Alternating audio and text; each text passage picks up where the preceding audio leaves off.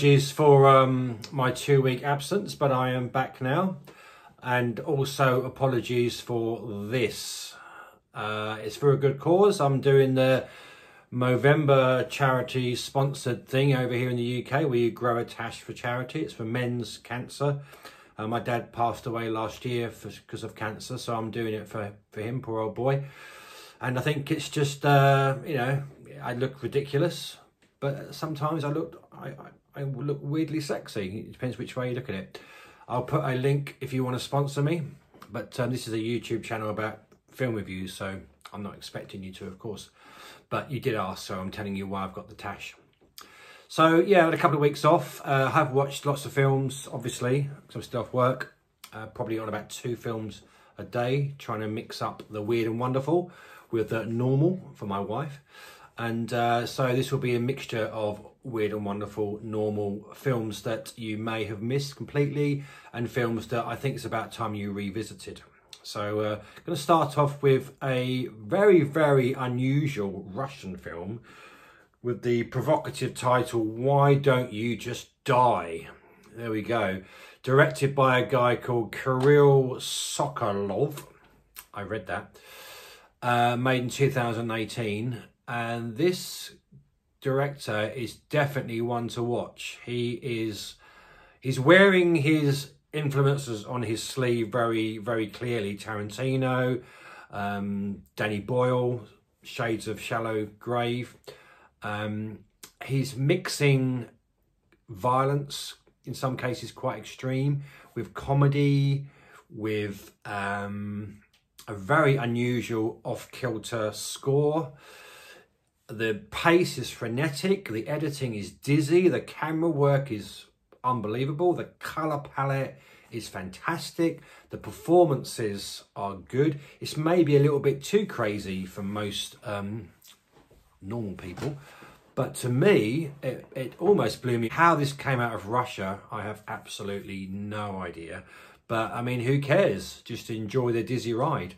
Um, the Arrow release is has got a nice booklet with it, which is um, always a, a bonus. Really nice booklet that you get with the if you can get the first edition. I've had this on my shelf for quite a while, and I just thought it was about time I checked it out, and I'm glad that I did. So yeah, check out Why Don't You Just Die. Once again, I'm not going to tell you anything about the plot, but I'm just going to encourage you to watch it. I also watched for the very first time a film by the very, very talented director Darren Aronofsky, a film from the year 2000 called Requiem for a Dream. I have absolutely no idea why I haven't seen this before. It makes no sense at all that I haven't, but and you know we all we all sin. But um, main reason I watched it because I know it's coming at 4K soon. So I thought, well, let's look at the, the, the Blu-ray that I've got, look at the transfer that I've got and check it's, um, it's up to standard. It was a really, really good, really good transfer, normal Blu-ray, American Blu-ray.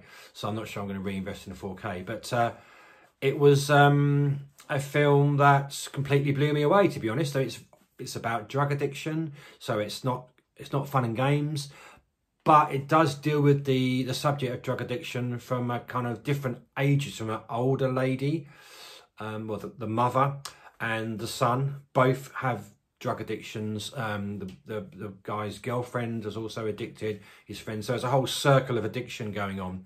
But it's showing the the, the terrible evil of drugs from all different viewpoints which is uh not a not a bad thing i guess. So if if it is a film that helps people to lay off of drugs then uh, we can't complain. But the the film really is to me was all about the camera work and all about the um, the effects in some way to split screen, the close ups, the the use of camera technology. It was just um, absolutely incredible. The use of music. It's just a real film buffs film, a real director's film, a real auteur kind of film. And um, I know Darren Aronofsky has, has gone on to great things with Black Swan and Mother, um, maybe not Noah, but this is one of his early films. And for a director who was obviously quite young when he did this, it was just incredible. Um, and it's just, um, it's kind of what's strange and what I liked about it as well. He uses uh, it's maybe strange to hear this, but he uses euphoric music set against a depressing backdrop of drug addiction. And I think when directors use music in a slightly off-center kind of way, that I really love that. But the, the combination of the, the incredible camera work and the um, the use of um, the music made it a real cinematic experience. So um, I just, if you haven't seen it, um, well, you probably have seen it. So what I meant to say, if you haven't seen it recently, I'd maybe check out and get the 4K version. Um, but if you haven't seen it ever, then you know you're you're as bad as I am. But it's a, for a film buff, it's one of the greats, one of the great films. I would say. I would say it's a masterpiece. There we go. I've said it. It's a masterpiece. Okay, so I discovered probably one of my favourite directors of all time, literally a couple of months ago. Uh, once again, you know, you, some things drop off the radar, and uh, Pedro Almodovar dropped off my radar um, for whatever reason. I don't think I've seen any of his films until two months ago. And I'm going through the filmography at the moment. I need to do like a top five, I think, of Pedro Almodovar films because he is an absolute master. Totally wildly original. Um, his use of colour and colourful characters and storylines, crazy storylines and Hitchcockian kind of plot lines together with the way he depicts love um, is it's just wacky and he's it's deranged sometimes, but it's just it's just completely original and fantastic. And I watched a film called one of his early earliest works called Women on the Edge of a Nervous Breakdown uh, from 1988 which uh, is actually more of a comedy. Uh, in fact, it's kind of a like screwball comedy um, based on the, the, American kind of screwball comedies of the of the forties. And the film breezes along, and it's um, it's got the usual kind of incredible array of characters, um, and the, again the use of color is always very important and the, the set design the costume design is fantastic. Not it's not my it wasn't my favorite um, pedro film for sure. And it, i know it is one of his most famous and that's probably that's why I, I left it till to watch at the end and the transfer as well was fantastic i watched the criterion uh, american criterion edition i mean they're their transfers are just unbelievable i sometimes wonder whether they if they did it in 4k we'd notice a difference to be honest but yeah, I mean, it's only a couple of um, All About My Mother's also been released on Criterion USA, and um, Women of a Nervous Breakdown is the other one. I think there might be a couple more. Talk to Her maybe, uh, which is another great Pedro film. So yeah, I mean, if you haven't discovered Pedro Almodovar, and I'm sure you most of you have, but it's worth going on a bit of a filmography odyssey and checking out as many of his films as you possibly can. If you subscribe to MUBI um, channel, then um, I think a lot of his films are on there. That's how I got into it by by watching watching it on the MUBI channel. So I decided to pick this up off the shelf and give it a whirl because uh, I did watch Hana-bi Fireworks a few weeks ago, um, directed by Takeshi Kitano, starring the great man himself. This BFI set has got um, three films, Violent Cop, Boiling Point and Sonatine. Of course, lots of special features and extras and the obligatory booklet. I'm always a sucker for. Oh, with pictures as well. So I thought I'm going to try Sonatine, um, made in 1993, because I think that's one of his more famous films. And um, I remember when I, back in the 80s, uh, I think it was the 80s, when I first watched a couple of this guy's films. I remember being impressed by the the, the character that he plays, a deadpan gangster. Lots of swagger, lots of uh, coolness, but it's a vague memory. And I was a different place then. I wasn't really watching art house and indie films back then, so I remember being impressed by that, but I don't remember being impressed by the film totally. So um, was a, I wanted to revisit this guy. And Sonatine is, I mean, I'm still processing it to be honest after watching it a few days ago. It's one of those films that it starts off kind of what you expect, the trademark um, deadpan sort of uh, violence and um, gangster story, and it's very much like um, a lot of films that I would associate with this guy. But then it takes a very sharp left uh, or, or right turn into a very, very different uh, genre, comedy, um, and drama as well. And it's just a real mixed bag after that. It's, um, I'm not going to say anything about what happens, about the plot. Just to say, if you want a film that is a of the gangster genre, but is also melding other genres in and you want something that's a little bit different, then this is the film for you. It's it's very, very, very original. Uh, and I can't recall a film treated the subject like this ever, ever. And I think it's a sort of film that I'm probably going to study and watch and maybe look at more reviews because it's just a, you know, one of those films, I say many times, there's a lot going on in this movie uh, because you have got, um, you know, you've got it's a thriller, it's a drama, it's a comedy. Is there social commentary in there? Probably, but you know you don't know. But one of those movies that you can probably study, and um, it is um, a great, great film. So I would, I would, definitely recommend it if you can catch it. And it, this isn't you know particularly expensive. Um, probably get it you know for 20 30 pounds now if you shop around that's definitely worth picking up the box set if you want to check out this guy's work Okay, so I managed to pick up uh, this little beauty, a German media book from Amazon Germany on a three for two deal. Oh my word. And uh, it's kind of, okay, it's all in German, but just who cares? Got lovely artwork and pretty pictures and it's very nice and gorgeous. So let's not worry about small things like not able to read any of it. But the big Brucey bonus is it's in, it's in 4K. I didn't know this film existed in 4K. I bought it an American import um, on Blu-ray like weeks and weeks ago, and then, then I found this on a free for two, and I was no brainer. Uh, yeah, Oz Perkins, big fan of Oz Perkins. I was introduced to Oz Perkins by a guy called Dimitri Kraus. He's got a YouTube channel. Um, he's um, he recommended a film called February, Blackcoat's Daughter. I watched it. I wasn't sure about it, and then I realised that it was almost a masterpiece when I watched it again. Um, he's the king of slow horror. Um, he cemented this with another film that I saw called um, We Are the Pretty Things That Live in the House. I think it's called that anyway, sorry. Um, but very similar kind of um, genre drama film. But this this film, um, I mean, I think with um, Oz Perkins, this guy's got a masterpiece in him, and this was almost a masterpiece. Maybe when I watch it again, I'll I'll give it the full five star deluxe masterpiece, um, premium Blu-ray seal of approval. But I think, to be honest, when I when I was watching this film, uh, the story, even though I think it's pretty good, was over there somewhere. I was interested in the the photography and the camera work and the beautiful moody synth score it just looks fantastic, and especially in, in 4K. Um, and I found myself just chewing up the scenery and and looking at oh look at that that shot.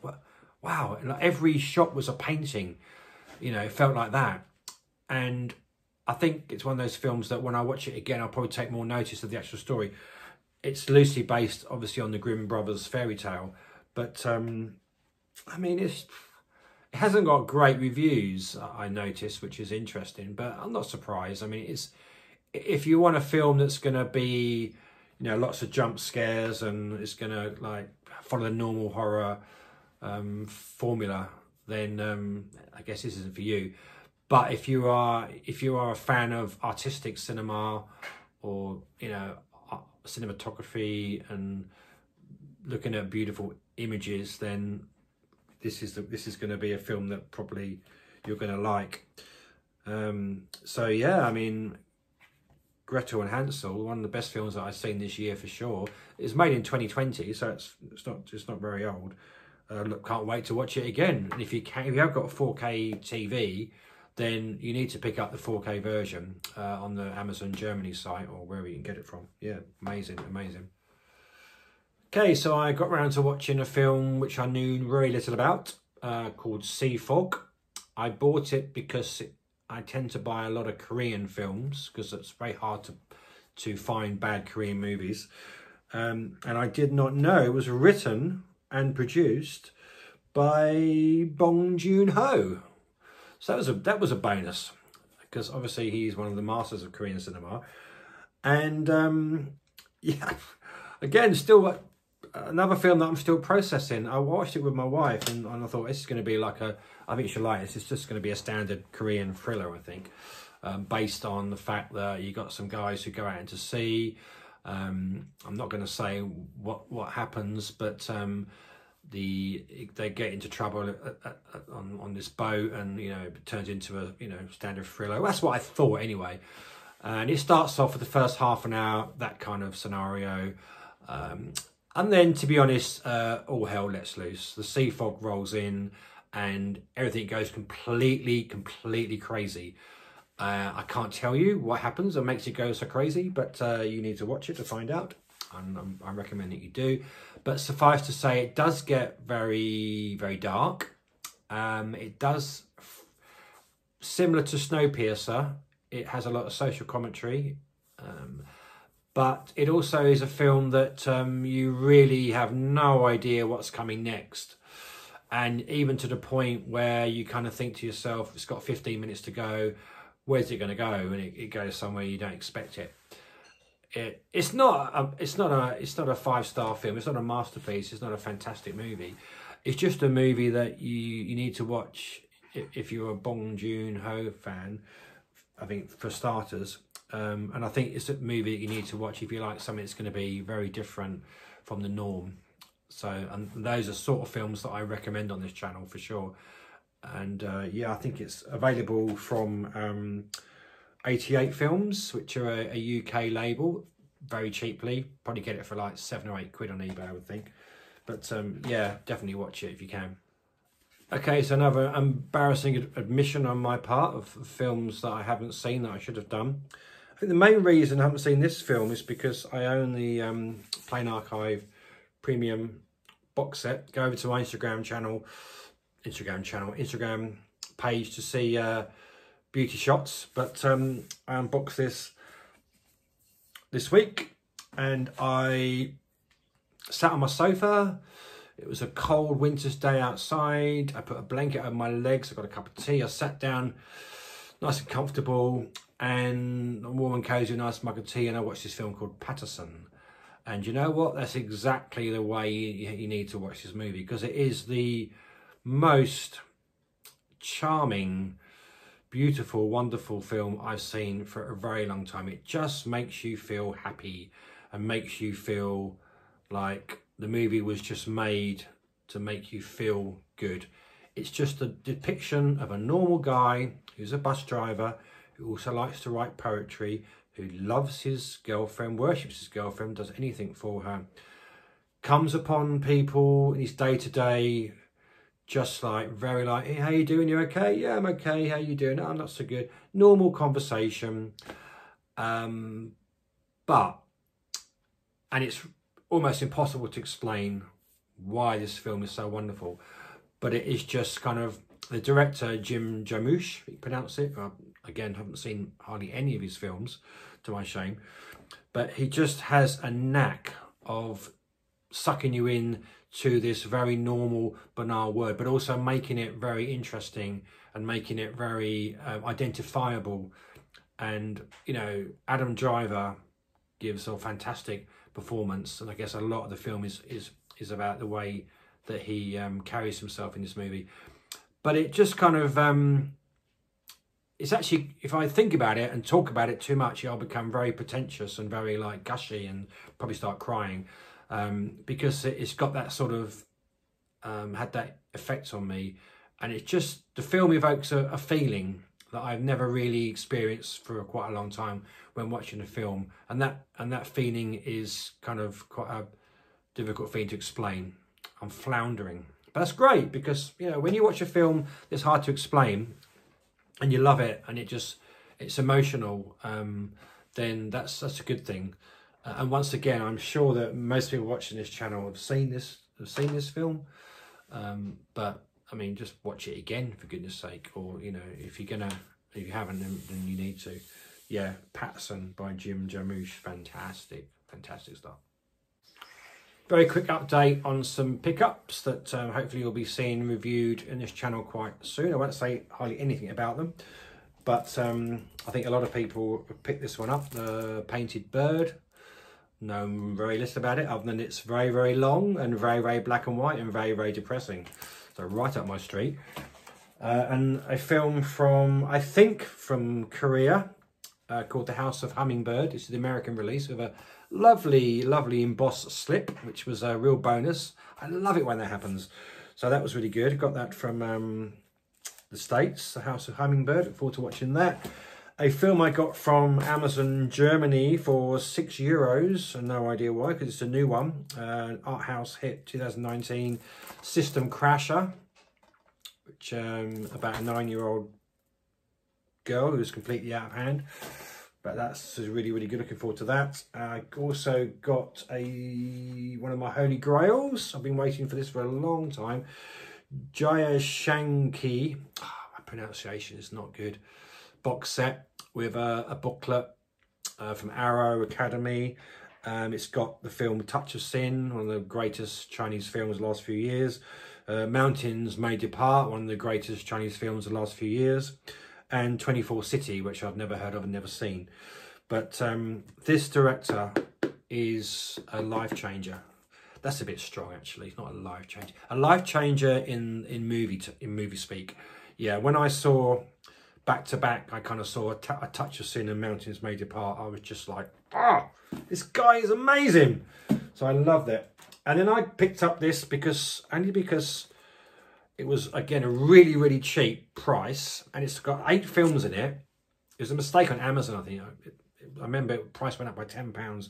I've only seen The Wild Pear Tree, but I did rather like it. So I'm going to have to sit down and, and watch and look at the artwork on these little digibooks. Really lovely. Just nice little digibooks. Uh, Uzak, Once Upon a Time in Anatolia, which is a famous film of Nuri Bilge Ceylan. Oh, pronunciation. The one that I've seen, The Wild Pear Tree, um, Winter Sleep, famous again, I believe. Kasaba, one of his early, early films. Clouds of May.